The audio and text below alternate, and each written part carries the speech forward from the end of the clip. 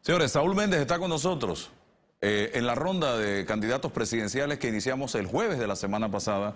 Eh, y vamos a iniciar inmediatamente con la primera pregunta. Señor Saúl, gracias por estar aquí. ¿Qué le pareció el ejercicio de anoche? Eh, ¿Qué le agradó? ¿Qué, qué cambiaría usted de ese ejercicio? Bueno, gracias por la oportunidad.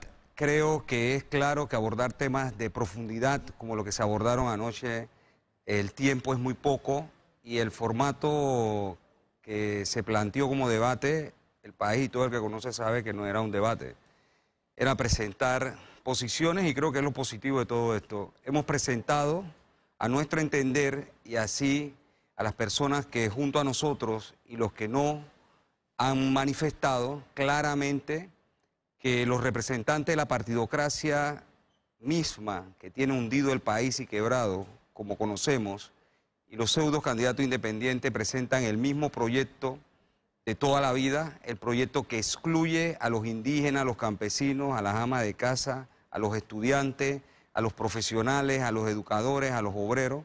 Y nosotros hemos presentado una propuesta de país distinta, una propuesta de país que pone en el centro la vida humana, el desarrollo humano de hombres y mujeres en este país, de niños y niñas, que permita sin duda poder alcanzar los elementos que hoy el pueblo no goza de ellos. Educación de calidad, salud. Aquí hay dos salud, una para los ricos y otra para los pobres. El tema de vivienda, de trabajo digno con salario digno. Aquí yo llamo trabajo digno. Laborar como laboras tú, 12 meses al año con un mes de vacación.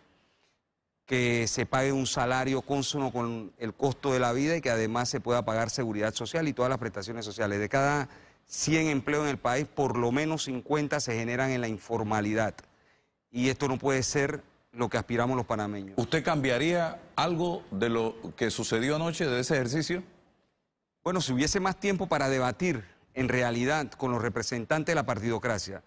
Por ejemplo, a mi juicio es una verdadera vergüenza que se paren representantes de los partidos políticos tradicionales y candidatos a presidente, que por ejemplo se está pidiendo levantarle el fuero electoral para investigarlo por corrupción, caso del candidato del CD, o que otros fueron investigados por el caso Semin, pero como en el país hay un lavado judicial, no se le castigó. El caso Semi fue muy sonado y todo el país lo recuerda cuando AFU dijo que todos los PRD, y entre esos el candidato del PRD, que hoy es candidato a presidente, estaba vinculado de forma directa o el caso del candidato del arnulfismo, que todos ellos han hecho gobierno, incluso candidatos independientes que como Ameglio Lombana o la candidata independiente hacen gobierno con esto, como funcionarios públicos o de elección popular. Entonces, ellos representan un modelo que después llegan a ir a mentirle al pueblo, a decirle que van a resolver la educación que no han resuelto, a decirles que van a resolver la salud que no han resuelto, a decirle que van a mejorar la condición de país y todos entendemos que hay 30 años ya en ejercicio de gobierno y estos candidatos siendo parte de esos gobiernos no han resuelto todos nada sido servidores públicos, excepto usted. Por supuesto, por supuesto, y esa es la gran, la gran diferencia. Imagínate que cuando se firmaba el Tratado de Libre Comercio con Estados Unidos, todos los representantes de los partidos políticos tradicionales y empresarios importadores estaban allí en la Embajada de Estados Unidos con champaña en mano celebrando el quiebre del agro nacional. ¿Usted cerraría, hablando de eso, usted acabaría con AUTSA de una vez y por todas? Mira, no solo AUTSA, porque no podemos permitir que se nos siga engañando, que se cambie el nombre de una institución y cumple el mismo papel como el PAN, el mm. FIS, el FES, donde roban los recursos del pueblo. Aquí lo que tenemos que garantizar, primero, es que el país tenga la posibilidad real de producir los alimentos que el pueblo consume, es decir, los alimentos que nuestros agricultores en nuestro país puedan generar para el consumo humano. Pero además de ello, garantizar la compra de producto nacional. En efecto, las importaciones no se van a permitir en un gobierno del FAC. Espera un momentito, eh, eso lo leí y lo vi. Pero si no hay importaciones, Panamá no produce lentejas, Panamá no produce un montón de cosas que vamos a comer. Eso es importante. Si nosotros claramente no producimos un producto, entonces ese sí habrá que importarlo. Ah, ok. ¿Pero qué significa? significa que esa no es la regla del juego. Hoy la regla del juego es que importan todo. La regla del juego es que se podrá... Correcto, se podrá importar lo que no producimos. Eso sí, sin embargo, lo que nosotros aspiramos es a que el país produzca el 100% de sus capacidades de los alimentos que demanda. Por eso hablamos de soberanía y seguridad alimentaria. La comida del pueblo no, no, puede estar en manos de extranjeros. La comida del pueblo no puede depender de los importadores. La comida del pueblo hay que producirla en Panamá. Pero además, apostar al agro nos permite a nosotros poder desarrollar el agro, la agroindustria, que están vinculados, que es el procesamiento de los alimentos y la industria. Eso genera mano de obra, mano de obra para los panameños que hoy no tienen trabajo. Le pregunto, vamos a otro tema, así como lo hice con los otros candidatos, eh, su posición sobre el tema de la elección del, del administrador y subadministradora del canal y, por otro lado, la designación de tres personas dos de los cuales están en el gabinete del presidente Varela para miembros de la Junta Directiva en una elección donde incluso ellos mismos participaron.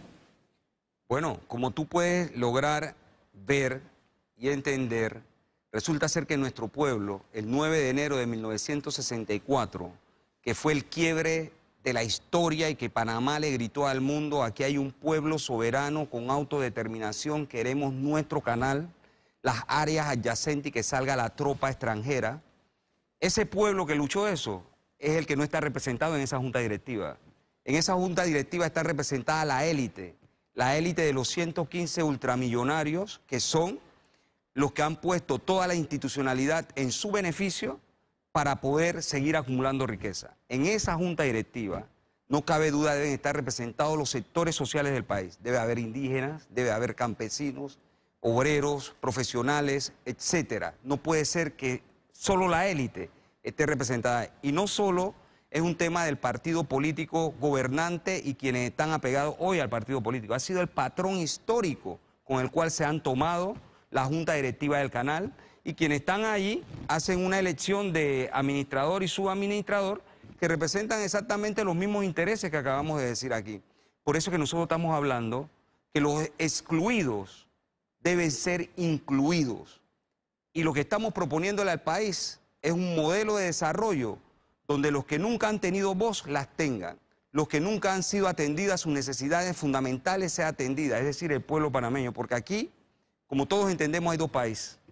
El país en el que todo lo tiene y es del que se habla, que están a un salto del desarrollo cuando viven en condiciones más allá del desarrollo, y el resto del país, que es la mayoría, que no garantiza educación, que no garantiza salud, que no garantiza vivienda, agua potable, que no garantiza la posibilidad de un trabajo digno, con salarios dignos. Entonces ese país excluido es el país que estamos aportando. El país que discrimina a las mujeres, por ejemplo. El país que hoy le paga menor a la mujer salario que a los hombres, aun cuando las mujeres están mayor educadas. Entonces, ese país de discriminación es el que tenemos que acabar, por un país inclusivo. Ok, vamos a la Asamblea Nacional de Diputados. Tienen que evaluar el tema de los magistrados de la Corte, tienen que evaluar ahora el tema de eh, los miembros de la Junta Directiva del Canal. Una asamblea que acaba de salir otro nuevo escándalo, 318 cheques durante la eh, presidencia de Rubén de León, 2015 al 2017, a personas endosados por otras personas, está apareciendo gente que ni siquiera recibió un centavo, ni siquiera firmó el cheque, que usaron su nombre, y aquí no pasa nada. Hábleme de eso. Por eso es necesario la constituyente originaria autoconvocada por el pueblo, para que, entre otras cosas, elimine el fuero electoral. Allí se esconden bandidos disfrazados de políticos que le roban de forma descarada al pueblo y no pasa nada. Si los bates cuestan 400 dólares, no pasa nada. Si cambiaron los cheques a nombre de otras personas, no pasa nada, porque todos se protegen a través del fuero electoral y los vamos a eliminar. Por eso es necesaria la constituyente originaria. En la constituyente originaria, por ejemplo, no va a poder ser la posibilidad de que el Ejecutivo proponga y el Legislativo pueda ratificar. Esa es parte del negociado. ¿Cómo recuerda, Recuerda, Álvaro, que precisamente se habló de pacto de gobernabilidad en este periodo, en este quinquenio. ¿Quiénes lo hicieron? El PRD, el Cambio Democrático, el Molirena, el Ardulfismo y el Partido Popular. Ellos comen en el mismo plato. Han gobernado estos cinco partidos los últimos 30 años. ¿Cómo creemos nosotros que se puede nombrar, por ejemplo, al funcionariado público, a las juntas directivas? Puede ser en el caso de un concurso de oposición. Tú y yo somos periodistas, hay una vacante, presentamos los exámenes correspondientes y el que mayor punto tenga, ese es el que va a quedar con la vacante. No depende, no depende del dedo de un político. Eso le da dignidad al que trabaja en el Estado para que pueda desarrollarse como ser humano de forma estable y no depender de nadie, que mi amigo me nombró, que mi padrino me nombró. No, es la dignidad del ser humano por encima de los intereses. Meritocracia se llama eso. Es posible también tomar en cuenta la meritocracia. Pero eh, regresando a los diputados, es decir, ellos también todos esos privilegios con los que cuentan, que se les paga el combustible, que no pagan eh, la cuenta del celular, que no pagan agua, etcétera, todo eso se va a eliminar. Y además los salarios que hemos propuesto nosotros de esa alta burocracia debe bajar a siete salarios mínimos, de manera tal que sea equitativa la posibilidad real que estos representantes que están en gobierno eh, respondan a los intereses del pueblo y que no se estén gastando los recursos del Estado que requerimos para educación, salud, vivienda y trabajo, obviamente en estos gastos suntuosos. Pero además déjame decirte algo que es lo más importante de una nueva constitución, como nosotros lo entendemos. Primero que el pueblo tiene derecho a organizarse, a fiscalizar, a elegir y a revocar mandato de quienes, de los diputados, de los alcaldes, de los representantes, del presidente de la República, por dos razones, por corruptos o por incapaces. ¿Qué mejor democracia esa?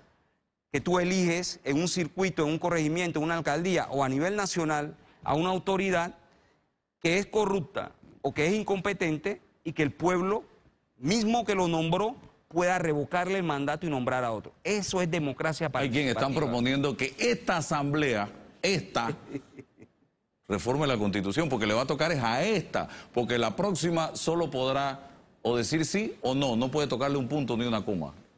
Esa es la forma que han utilizado hace 30 años para reformar la constitución. Incluso cuando el pueblo votó en el periodo de Endara sobre un plebiscito, después ellos se pusieron de acuerdo y aprobaron la reforma.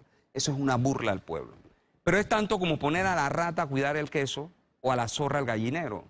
Es decir, no solo se trata de esta asamblea, Álvaro, como tú claramente entiendes. Los 420 millones que los diputados se llevaron del PAN en el periodo pasado. Pero antes de eso tenían partidas eh, circuitales y le han ido variando los nombres. Por eso es que no nos podemos dejar engañar. Son los mismos, son los mismos partidos y son los mismos individuos. Incluso hay candidato a presidente del cambio democrático que le han pedido revocar el fuero electoral. El Tribunal Electoral se ha negado a ello porque están investigando por corrupción. El caso del candidato del PRD, que fue investigado y vinculado al tema SEMIS, como el país conoce, pero como hay lavado judicial, que es lo que los sectores de poder logran, tanto el económico como el político, no rendir las cuentas que corresponden, entonces salen exonerados. Por eso es importante decirle al pueblo panameño que llegó la hora de hacer las transformaciones que requerimos. Hay quienes, a través del mecanismo de cambiar todo para no cambiar nada, es decir, el gato pardismo, que tú indicas, plantean, sean las dos asambleas las que reformen la constitución, se refugian allí porque ellos saben que van a seguir teniendo el control. no nos pueden obligar a los panameños a pensar que la única forma de vivir es el mal vivir que los partidos políticos tradicionales y sus funcionarios que han hecho gobierno de alto vuelo con ellos es la única manera que Panamá pueda... El Tribunal Electoral ya aprobó a un movimiento que ha surgido de la sociedad llamado Ciudadanos por, Unidos por la Constituyente a recoger firmas para tratar de eh, redactar una nueva constitución en este país eh, por la vía del poder popular. ¿Qué piensan ustedes de ese movimiento? Mira, con relación a cualquier movimiento que busque cambios reales, creo que debe tener nuestro apoyo. ¿Cuál es el problema? El problema es que el mecanismo que se está activando es la paralela, ¿Cómo crees tú que se escogen los asambleístas en la paralela? Se escogen de los partidos políticos. La propuesta que nosotros estamos haciendo de constituyente originaria implica que la elección debe darse por sectores sociales para garantizar que estén todos los sectores sociales del país representados. Deben haber indígenas, deben haber campesinos, deben haber obreros, deben estar ahí representados los profesionales, los educadores, es decir, las mujeres, la juventud, es decir, que estemos todos, incluso los empresarios, para que no repitamos el modelo que existe hoy. Hoy se excluye a todos los mencionados para que la élite y los partidos políticos que son controlados por la élite puedan seguir repitiendo esta historia. De allí que es la gran diferencia entre una constituyente originaria autoconvocada por el pueblo, que asuma los poderes del Estado, que redacte el nuevo texto constitucional y lo someta a la votación de la población y entonces con el nuevo texto constitucional podamos, por ejemplo, llamar a elecciones libres y democráticas, podamos eh, hacer los nombramientos de los magistrados, que no tiene que ser nominado por el Ejecutivo y que no tiene que ser ratificado por el legislativo, puede ser por elección popular o por concurso de oposición en el caso de jueces y magistrados. Es decir, es romper el modelo que hoy no funciona, no sirve. Eso es importante que el país lo tenga presente. Y de nuevo, no nos pueden seguir engañando los mismos de siempre. Ellos no pueden mostrar estas manos limpias y decir que no están en corrupción. Todos, ellos no pueden mostrar las manos limpias que mostramos ahora y decir que no le robaron la plata al pueblo panameño. Y las falsas promesas que cada quinquenio se hacen, obviamente ya el pueblo lo ha escuchado. Ha escuchado que van a resolver la salud, la educación, el agua potable, y resulta ser que seguimos debatiendo lo mismo. En educación todavía no hablan de escuelas rancho. En 30 años no se pudo haber resuelto el problema de escuelas rancho. Por supuesto que sí pero la demagogia, la mentira, el engaño y además el atraco a los recursos del pueblo es lo que prima en los candidatos de los partidos tradicionales y los pseudos independientes. Gracias, don Saúl Méndez. Gracias por la oportunidad. Experiencia en el día de hoy de conversar con usted en esta ronda de candidatos presidenciales. Vámonos al cambio.